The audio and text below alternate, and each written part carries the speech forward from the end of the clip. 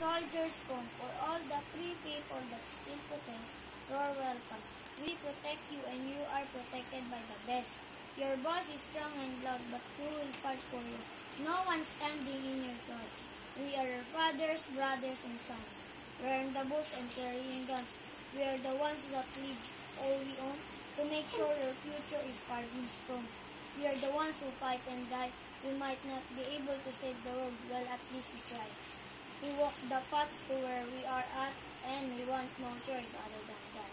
So when you rally your group to complain, take a look in the back of your brain in order for that flag you love to fly. Wars must be fought and young men must die. We came here to fight for the ones who hold you. If that's not respected, we would rather stay here. So please stop yelling, put down your sign, and pray for those behind enemy lines. Then when the conflict is over and all is well, be thankful that we chose to go to war.